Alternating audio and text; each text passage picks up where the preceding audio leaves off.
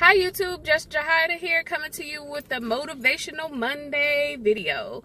So last video I was talking about stepping into your purpose and don't let fear block you from stepping into your purpose. Today I want to let you know just keep pushing. Sometimes life comes in the way and we got to keep on moving and pick up the pieces where we left off and keep pushing.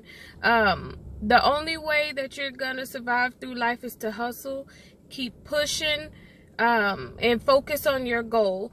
You're going to have a day where you may not want to do something, but just think, keep that motivation in your mind to keep pushing.